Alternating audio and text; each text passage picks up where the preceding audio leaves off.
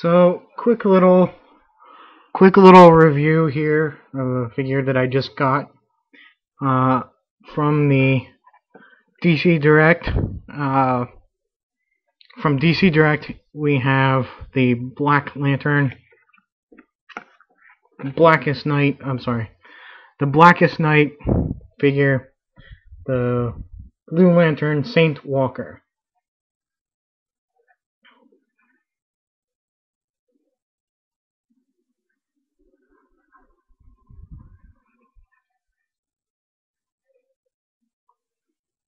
As you can see, he comes with his Blue Lantern, just a repainted Green Lantern,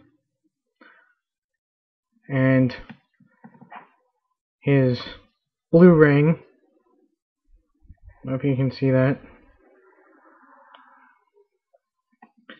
Uh, he has knees, hips, head, uh, articulation. It's not. It's just a swivel. It's not a ball joint though, unfortunately. Uh, and arms just go in and out and uh, up and down. Now, I notice on my figure that these elbow joints are very uh, stiff, and I almost broke this arm off. So I'm very hesitant to move him at all. Um, so it may just be mine, but uh, that's something to watch out for. Uh, and see, he comes with nice stand, his Blue Lantern symbol, of course, you see again hit on his chest.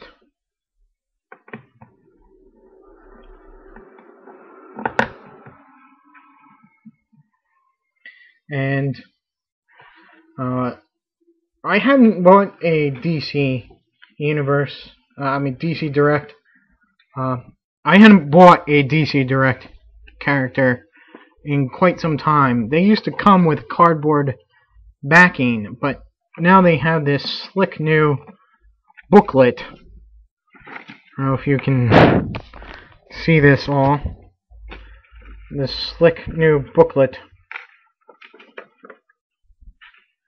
And that opens to the rest of the characters.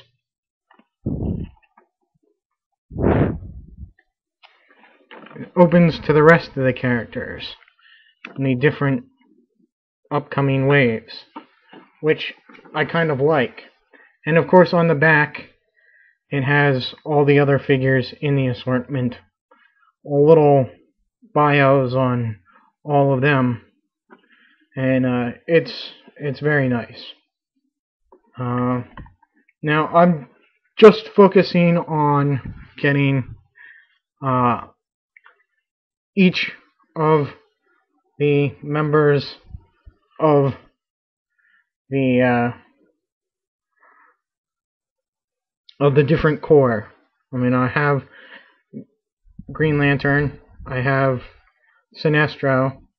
Uh, actually, yes, I have Sinestro and uh, Atrocitus, and I'll show you Atrocitus now.